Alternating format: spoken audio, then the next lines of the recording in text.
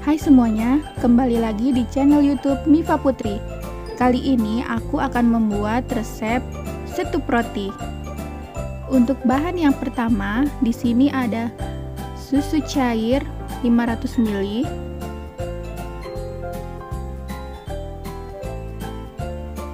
Di sini aku menggunakan merek Frisian Flag ya. Boleh merek lain bebas. Berikutnya ada santan kara 200 ml. Lalu ada tepung maizena 2 sendok makan. Dan gula pasir 5 sendok makan. Berikutnya ada susu kental manis 5 sendok makan. Keju parut 50 gram dan roti tawar secukupnya. Untuk roti tawarnya, aku menggunakan merek Sari Roti. Untuk teman-teman bebas ya, kalau ingin menggunakan merek lain. Nah, mau tahu cara buatnya? Tonton terus videonya ya.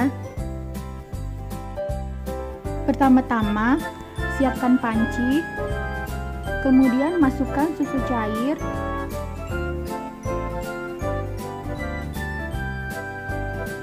lalu santan kara. Di sini teman-teman boleh menggunakan santan peras ya, langsung dari kelapa. Kalau tidak ingin menggunakan santan kara, bebas. Kemudian gula pasir.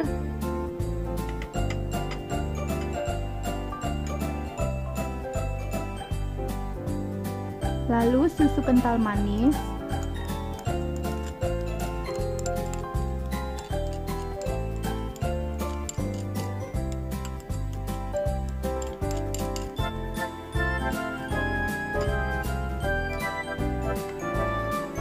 Aduk-aduk hingga rata.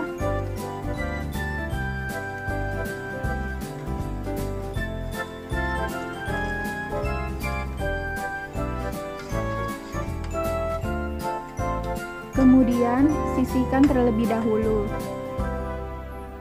Berikutnya tepung maizena kita larutkan menggunakan sedikit air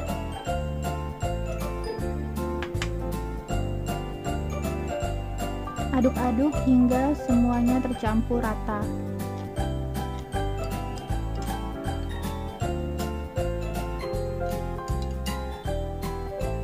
Setelah itu sisihkan.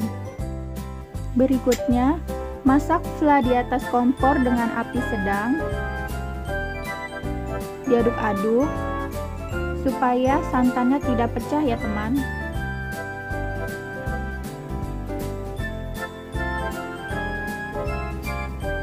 Setelah agak panas, tambahkan sejumput keju.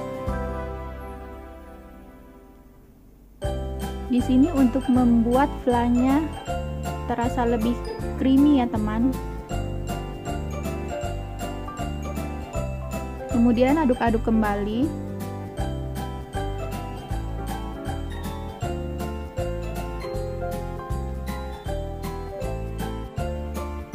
Aduk-aduk terus. Setelah mulai agak mendidih kemudian kita masukkan larutan tepung maizena.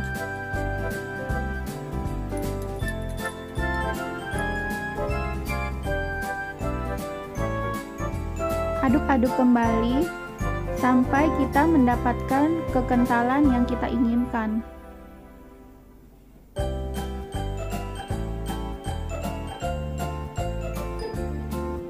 sampai mendidih lagi ya teman. Di sini sudah mulai mendidih dan kekentalannya sudah saya dapatkan yang saya inginkan.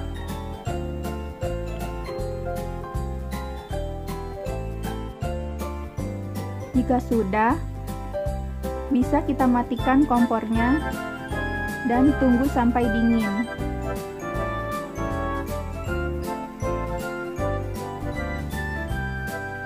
Di sini aku menggunakan cup yang berukuran 300 ml ya teman. Boleh menggunakan cup lain. Di sini flanya sudah aku dinginkan.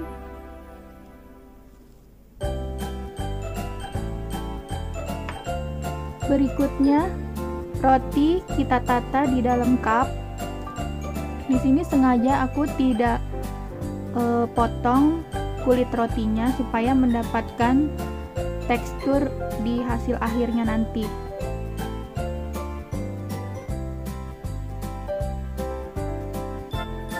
Setelah itu, kita siram fla di atasnya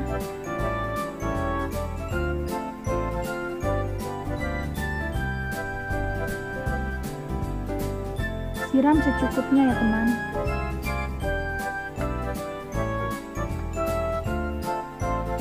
tambahkan taburan keju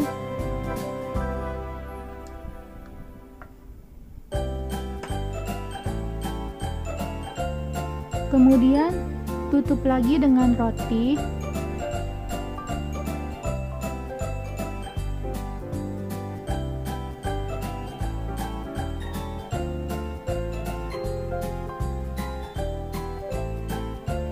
Lalu siram fla lagi.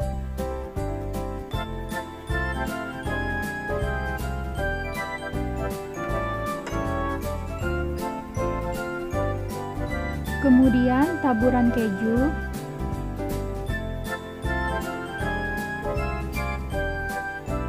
Dan tutup roti lagi. Di sini aku menggunakan tiga lapis roti ya teman. Karena memang cupnya cukup untuk tiga lapisan roti terakhir siram lagi menggunakan fla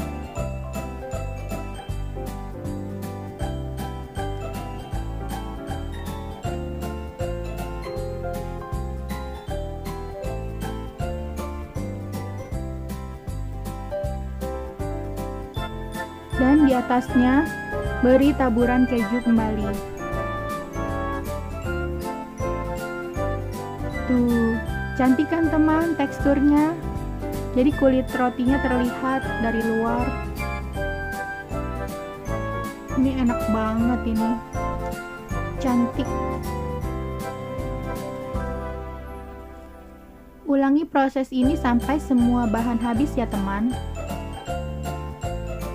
Kalau setiap lapisan tidak ingin menggunakan keju, boleh.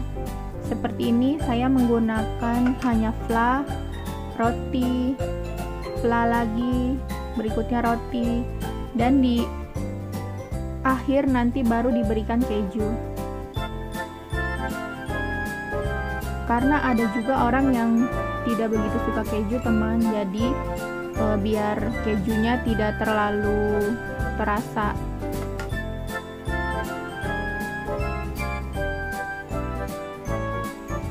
Setup roti ini lagi hits banget teman.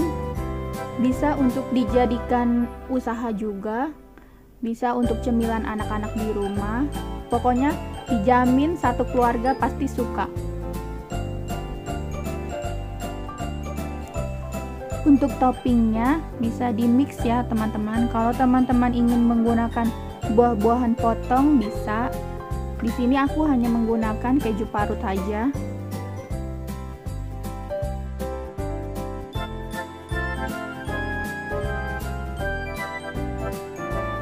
Nah, ini dia sudah selesai. Untuk satu resep ini bisa jadi untuk 5 cup ya teman-teman, ukuran 300 ml. Tuh, cantik banget kan kelihatannya? Ini enak banget. Bisa dikonsumsi langsung atau dingin. Nah, ini yang sudah siap aku masukkan kulkas. Untuk di sini bisa tahan sampai 1 sampai 2 minggu ya, teman. Ini aku masukkan dalam freezer. Nah, sekarang aku mau cobain ya teman-teman. Tuh, lihat dari warna dan tampilannya kelihatan enak banget ya teman. Sekarang kita tes rasanya.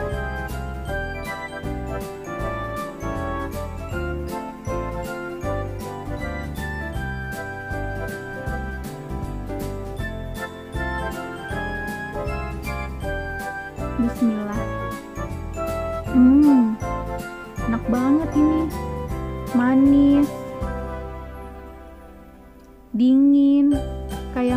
Es krim dengan roti. Pokoknya ini pasti anak-anak suka. Dijamin.